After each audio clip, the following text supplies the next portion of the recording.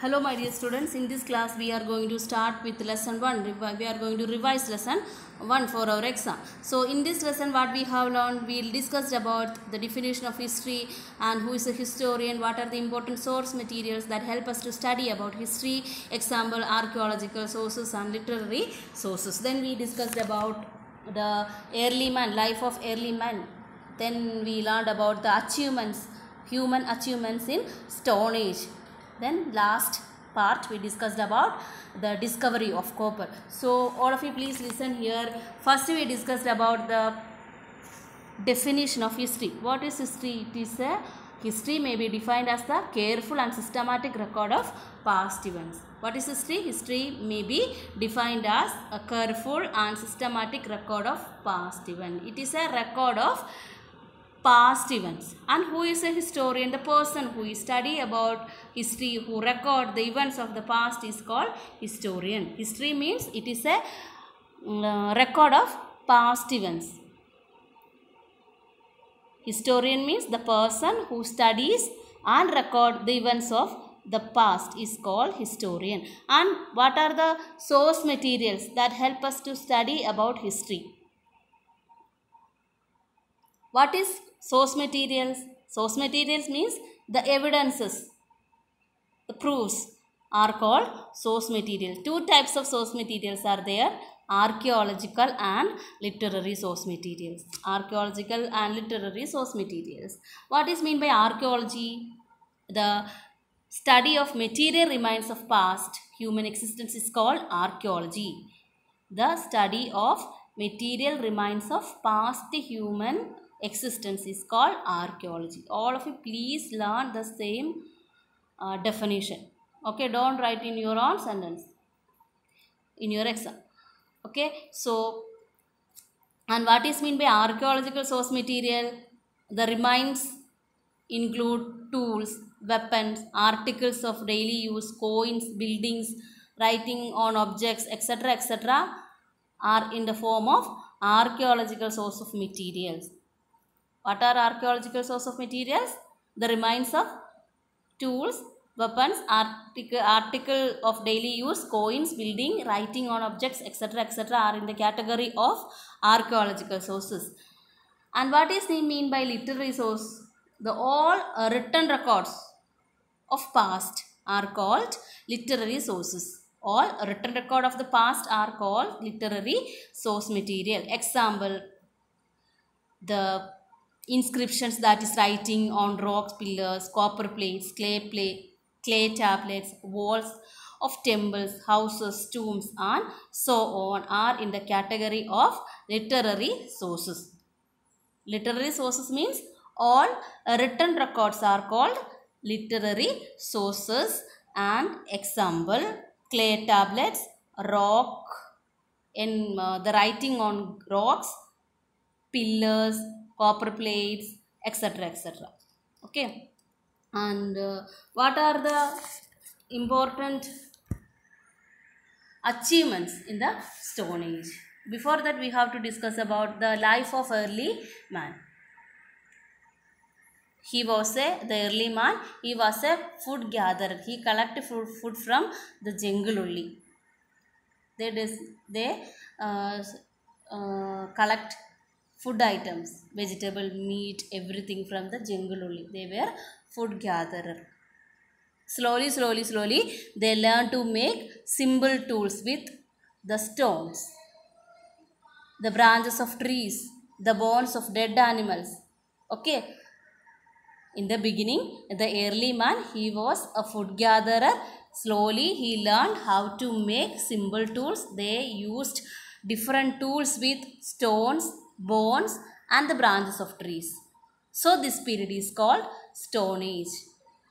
Okay, mainly they made their tools with stone in this period. So this period is called Stone Age. What was the first and important discovery or human achievements in the Stone Age? First, they discovered or they learned to make fire and they used fire for protection against wild animals. Okay? And uh, they started to domesticate animals. Example goat sheep cow etc etc and they used milk meat as food. They used their skin as cloth. Okay? They started domesticated the early man they started to domesticate different types of animals goat sheep cows etc etc and he used milk meat as food. And they used the cloth. They used the skin as the cloth. And the people slowly they started cultivation. Okay? In the initial stage i told you that they were there those people or the, early man they were food gatherer but later they become a food producer. And they could now settle in one place and build houses and make pots to store food. And they made different kinds of tools. They designed different various tools for cutting trees for cultivation etc etc and they invented wheel also. And it was a uh, it was an important achievement. Invented the wheel which improved transportation and helped in pottery making. These are the important achievements in stone age. First they discovered and learned to make fire then started domestic domesticated animals they started cultivation crops they designed various tools and they invented the wheel. These are the five important achievements in the Stone Age. And last we discussed about the discovery of copper.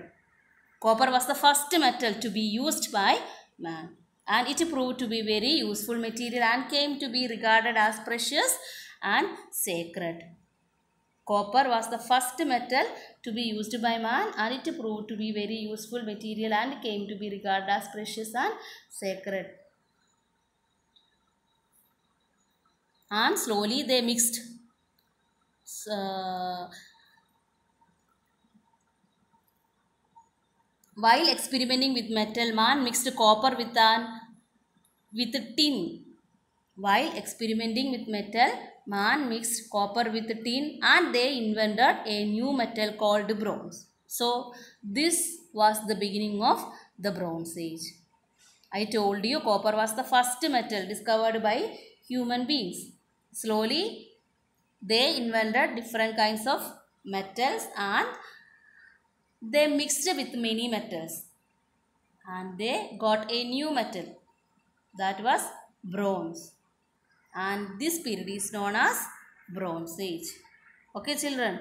So in this lesson we discussed about the definition of history who is a historian and what are the things that help us to study about history? We can call them source materials.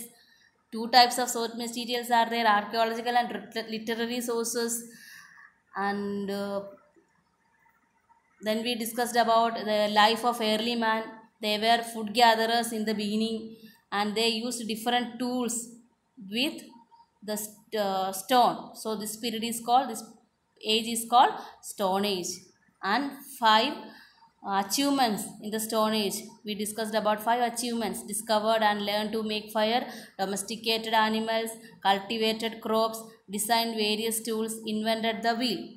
And last we discussed about the discovery of copper. It was the first metal that was discovered by human beings and slowly they started different types of experiment with this metal and uh, they mixed copper with tin and they got a new metal that is bronze that was bronze and this period is called or this was the beginning of the bronze age. Hope all of you understood up to here. If you have any doubt you can ask through the comments. Okay